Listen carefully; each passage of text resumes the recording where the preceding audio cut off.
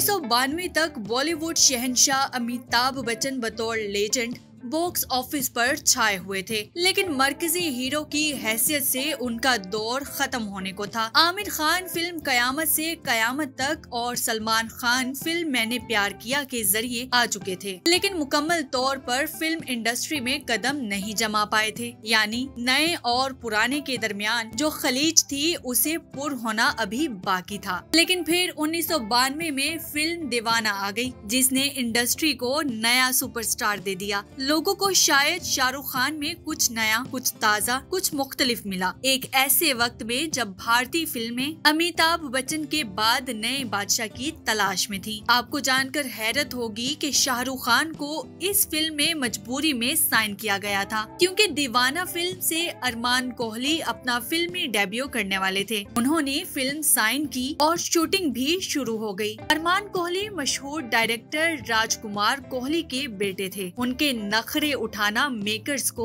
इतना भारी पड़ गया कि उन्होंने न सिर्फ़ अरमान कोहली को फ़िल्म से बाहर का रास्ता दिखाया, बल्कि फ़िल्म में किसी नए अदाकार को लेने का फैसला कर लिया। फ़िल्म के पोस्टर में शाहरुख खान नहीं, बल्कि अरमान कोहली थे, क्योंकि फ़िल्म का पोस्टर बनाया जा चुका था।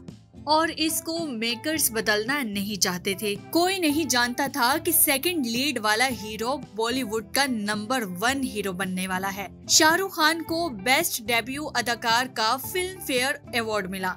शाहरुख खान ने एक इंटरव्यू में बताया था कि पोस्टर में दिव्या भारती के साथ अरमान ही हैं। अगर फ़िल्म अरमान के साथ बन जाती तो शायद ही ना चल पाती।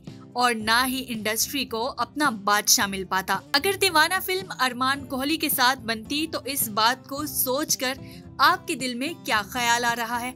कमेंट में ज़रूर शेयर करें।